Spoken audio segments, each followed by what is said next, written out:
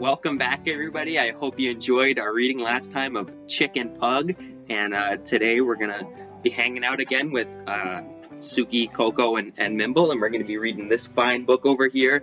Zorro gets an outfit about a uh, a nice pug who who has to wear an outfit and isn't the most comfortable with it, but as you can see, these three certainly are. So uh, I hope you enjoy. Zorro Gets an Outfit by Carter Goodrich. The day began like any other for Zorro and Mr. Bud. Okay, alright. They had their biscuits and were ready for their walk. But there was a delay.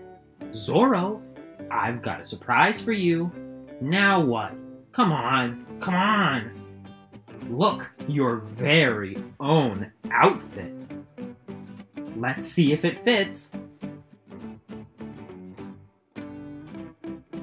Zorro was embarrassed. He didn't want to go for a walk. Zorro, come on. Slow down, Mr. Bud. Wait.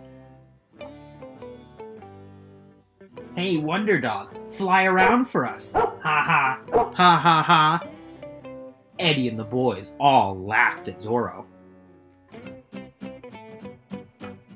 Even Slim made fun of him. Look, there's Slim. Let's get him. Nice outfit, Zorro. Ha ha. In the park, Mr. Bud tried to cheer up Zorro. Zorro, look. Look at this stick. Come on, grab an end. But it didn't work. Suddenly, someone new showed up. He was fast. He did amazing tricks. And he had an outfit. Just like Zorro.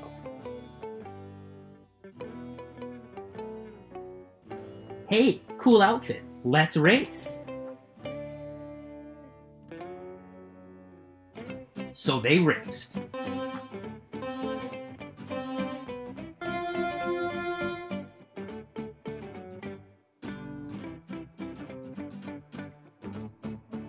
In the end, Dart won. Zorro came in second. And Mr. Bud came in third. Pretty soon, it was time to go. Zorro! Zorro! Zorro!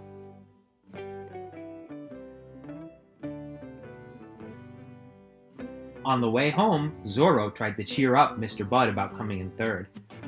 Maybe it's because you don't have an outfit. Actually, Mr. Bud didn't really mind about coming in third. He could tell Zorro was happy now. And that made Mr. Bud happy too. Hey, hey, there's Slim. Let's get him.